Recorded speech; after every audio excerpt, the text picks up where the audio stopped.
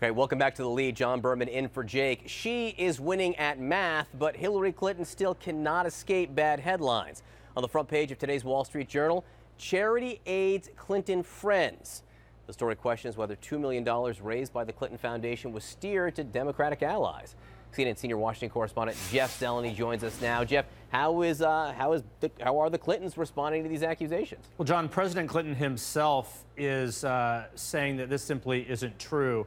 Um, some reporters caught up with him on a, on a rope line campaigning uh, last night and asked specifically if he'd denied if any uh, law was broken, and he said, "Oh God, yes." So, but what the campaign is saying and people around it, they always knew that Clinton Foundation uh, was going to come back. Of course, that was a controversy last year in terms of how it received its money from from uh, foreign governments, uh, from uh, wealthy donors, et cetera. So now it is coming back. But they say that this specific company, it's called impact investing, that they are we're actually investing in a new energy company here to try and do good things, basically help people insulate their houses.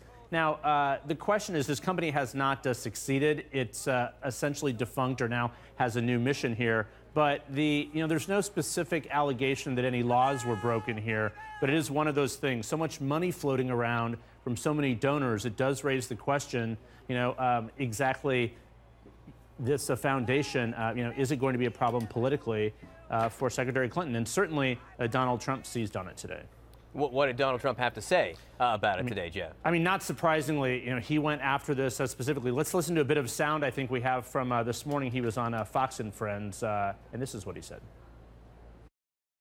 Well, it's a bombshell. There's no doubt about it.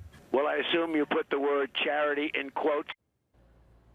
So he said right there, uh, he you know, said that the word charity should be sort of put in quotes there for the Clinton charity. But look, uh, Donald Trump is going to keep going after this. He's specifically going after one person who was one of those investors who he believes is a, or who is a close friend of the Clintons. He raised questions this morning how close of a friend she actually is here. So, Jake, this is just the opening volley in what really is a new chapter in this campaign as we have Donald Trump's audio tapes from 25 years ago.